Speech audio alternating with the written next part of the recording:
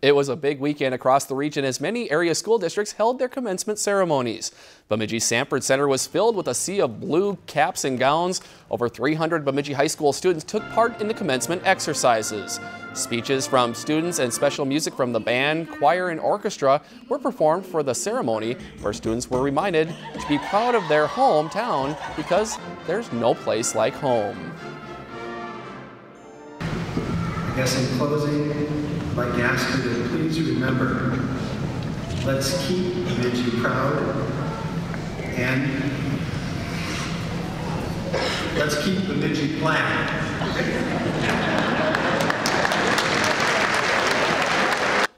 Bemidji High School graduating class of 2017 had over 50 students in National Honor Society, and 49 of them graduated with top honors.